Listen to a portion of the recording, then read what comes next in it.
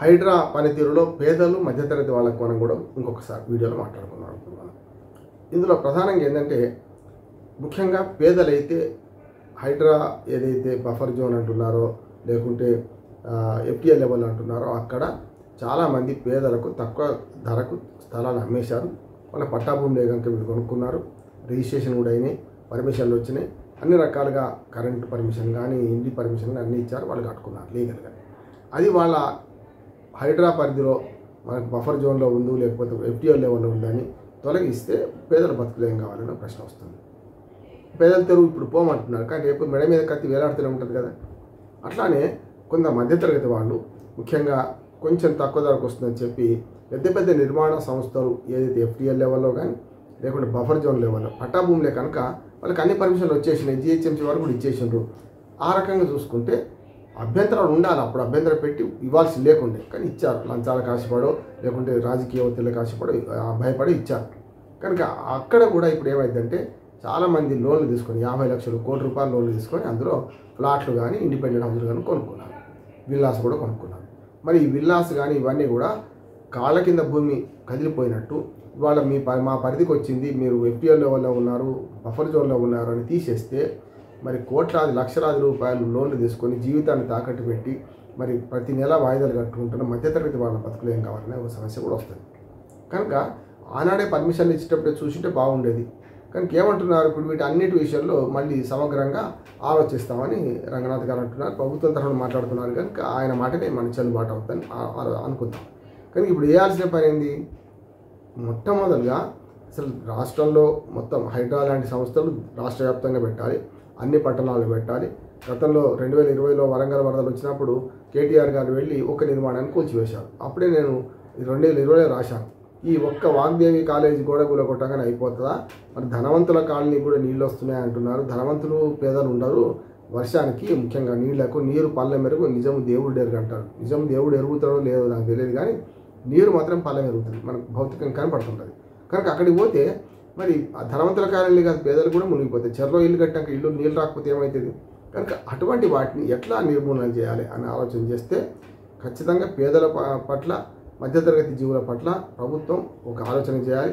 ఎవరైతే నిర్మాణ సంస్థలు అటువంటి భూముల్లో దొంగ పర్మిషన్లు తీసుకున్నారో తప్పుడు పర్మిషన్లు తీసుకున్నారో వాళ్ళకు జరిమానాగా వెయ్యాలి వాళ్ళను ఆవిడ అక్కడిని షిఫ్ట్ చేస్తే ఆ ఇల్లు కూలగొడితే వాళ్ళకు అంత పరిహారం ఇచ్చే విధంగా చేయాల్సిన పని ఉంది. అది చాలా కష్టం. కావచ్చు కానీ మొదలు మనసుంటే మార్గం ఉంటుంది.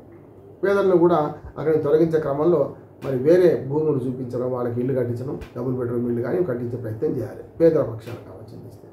అంతేందుకు ఒకసారి మనకు ఈ అధికారులు ఎవరైతే ఆనాడు అక్రమ పర్మిషన్లు ఇచ్చారో ఆనాడు ఇవాళ వాళ్ళ రిటైర్మెంట్ అయినా సరే రిటైర్మెంట్ బెనిఫిట్స్ పొందుతున్న కూడా వాళ్ళ మీద కట్ చేయొచ్చు.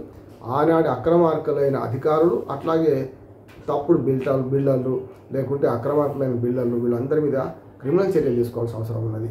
ఇక్కడితో ఆగి కేవలం నాలుగు నిర్మాణాలు కొట్టి కూలగొట్టి ఊరుకోవడం కాకుండా ఇప్పుడు ఏదైతే జరిగిన నష్టం జరిగింది ఈ నష్ట నివారణ చర్యలు తీసుకుంటూనే ఎవరైతే ఆనాటి అధికారులు ఉంటారో వాళ్ళని బాధ్యులు చేయాలి. కింది స్థాయి అధికారులను బాధ్యులు చేయడం కంటే సూపర్వైజరీ పైనుంచి ఆదేశాలు ఇచ్చే అధికారులను ఖచ్చితంగా ప్రాసిక్యూట్ చేయాలి. దాంతోపాటు ఎవరైతే మహామహా బిల్డర్లు ఉన్నారో వాళ్ళందరూ లంచాలు ఇచ్చి అధికారులను మభ్యపెట్టో భయపెట్టో చేసుకున్నారో వాళ్ళని తీసుకోవాలి. రాజకీయ నాయకులు ఎట్లాగో ఇరకరు. కనుక రాజకీయ నాయకులు ఎప్పుడూ బహిరంగంగా అక్కడికి వస్తే మద్దతు చేస్తే అప్పుడు దానం నాగేంద్ర మీద కేసు ఎట్లా రిజిస్టర్ అయిందో అట్లా అవుతుంది. కనుక తరతమ భేదాలు లేకుండా చేస్తామని రేవంత్ రెడ్డి గారు చెప్తున్నారు కనుక ఇది ఒక రకంగా కొందరు ఇంకో రకంగా విమర్శిస్తున్నారు. ఈ రాజకీయ ప్లాను రేపు పొద్దున జిహెచ్ఎంసీ ఎన్నికలు గెలవాలంటే మధ్యతరగతి పేదల మద్దతు పొందాలని. పొందాలంటే ఏం చేయాల్సి వస్తుంది మరి? ఇప్పుడు నేను చెప్పిన పని చేయాల్సి వస్తుంది. అట్లాగే ఈ హద్దులు నిర్ణయించడం కూల్చివేతలు కాకుండా హద్దులు నిర్ణయించి అందులోని మీరు వస్తువులను తీసుకుంటారా? లేకుంటే ఆ నిర్మాణాలను తొలగించే క్రమంలో మీరు వాడుకునే వస్తువులను తీసుకుపోతారా? అని చెప్పి వాళ్ళకి టైం ఇచ్చి దీన్ని తొలగిస్తే మంచిదని నా ఉద్దేశం. ఎఫ్టీఎల్ లెవెల్ ఇవన్నీ చేయడానికి పాత నక్షాలు ఉన్నాయి. పాత మనకు ఏదైతే డ్రోన్ కెమెరాతో తీసిన ఉన్నాయి గతంలో మన గూగుల్ మ్యాప్లో కూడా అక్కడ ఏమున్నాయని పాత మ్యాప్లు తీసుకుంటే దొరుకుతాయి మనకు కనుక. ఇది సమగ్రంగా ఒక పద్ధతి ప్రకారం చేసుకుంటే పోతే సాధ్యమవుతుంది కానీ కేవలం కొన్ని నిర్మాణాలు కూల్చివేసి అమ్మాయి అయిపోయింది భయపెట్టాం కనుక ఇక ముందు నిర్మాణాలు అక్రమ నిర్మాణాలు రావు అని అనుకుంటే కళ్ళ తప్పనిసరి వస్తాయి. ఎప్పుడైతే తీసేసుకుంటూ వస్తారో తర్వాత భూమి ధర పెరిగిపోయిన తర్వాత లక్ష రూపాయలు రెండు లక్షల రూపాయలు గజం విలువ పెరిగినప్పుడు హైదరాబాద్ నగరంలో మరి అటువంటి అప్పుడు నిర్మాణాలు పోతే పోయినాయి. మళ్ళీ నాలుగేళ్ళకు మనకు అనుకూలమైన ప్రభుత్వం వచ్చినప్పుడు కట్టుకుందామని ఆలోచనతో ఉంటారు కనుక పూర్తిగా హద్దులు నిర్ణయం చేయడం దానికి మార్పు చేయడం అక్కడ హద్దులు బాతడం దాని ద్వారా ప్రజలు తెలియటట్టు చేయడం. అంటే ఇప్పుడు జిహెచ్ఎంసీ పార్కు కబ్జా అయితే మనందరం వ్యతిరేకిస్తాం. ఎందుకంటే కబ్జా కాకుండా ఆల్ ఆల్మోస్ట్ ఆల్ గోడలు కట్టి ఉన్నాయి కనుక అది పార్కు స్థలం అని తెలిసింది.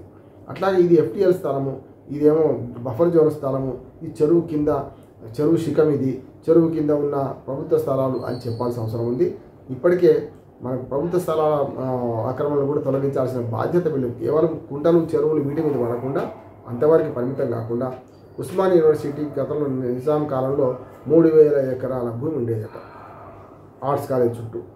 అప్పుడు ఇప్పుడేమైంది? పంతొమ్మిది వందల ఎకరాలకు మిగిలిపోయింది. అలా కొంత ప్రభుత్వము కొన్ని సంస్థలకు కేటాయించిన దూరదర్శనం కానీ హోమియోపతి హాస్పిటల్ కానీ అది పోగా దాని చుట్టుపక్కల ఉన్న కాలనీలన్నీ కూడా అక్రమంగా నిర్మాణాలు చేశారని ఉస్మాన్ యూనివర్సిటీ భూమిని ఆక్రమించుకున్నారని ఇవాళ వెయ్యి ఎకరాలకు పైగా కబ్జా అయిందంటే ఆ వెయ్యి ఎకరాలను ప్రభుత్వం నాలుగైదు వందల ఎకరాలు రకరకాల ఆఫీసులకు ఇచ్చింది. ఇంకో నాలుగైదు వందల ఎకరాలు కబ్జా గురైనాయి వీటి వీటి గురించి కూడా ఇది ఒకటే కాదు ప్రభుత్వ ఆస్తుల పరిరక్షణ కూడా ఇందులో ఉంది కనుక వీటి విషయంలో కూడా ప్రభుత్వం చిత్తశుద్ధం ముందుకు పోవాలి. ఈ వరకు మీకు తేనెటీవుగా ట్విట్టర్ని కదిలించినట్టు లెక్క చాలా సమస్యలు వస్తాయి. రేవంత్ రెడ్డి గారు ధైర్యంగా దీన్ని ఎదుర్కోవడానికి సిద్ధంగా ఉంటే అంతకంటే మరొక అభినందన ఒకటి ఏం లేదు. దానికి తగ్గ అధికారం నియమించారు దానికి తగ్గ నిజాయితీపరమైన అధికారం నియమించారు. ఆయన కూడా ప్రభుత్వానికి సహకరిస్తూ పనిచేసుకుంటూ పోతున్నారు. దీన్ని ఆహ్వానిస్తూనే నేను చెప్పిన హద్దులు నిర్ణయించి సరైన విధంగా పేదలకు లాభం పేదలకు నష్టం కాకుండా చేసే ప్రయత్నం చేసినప్పుడు అందరూ హర్షిస్తారు. ఇది కేవలం హైదరాబాద్కే పరిమితం కాకుండా రాష్ట్ర వ్యాప్తంగా దీన్ని విస్తరించి ఇలాంటి నిర్మాణాలు అక్రమ నిర్మాణాలను తొలగించాల్సిన అవసరం ఎంతైనా ఉందని నేను విజ్ఞప్తి చేస్తున్నాను. దీన్ని అభినందిస్తున్నాను. నమస్కారం.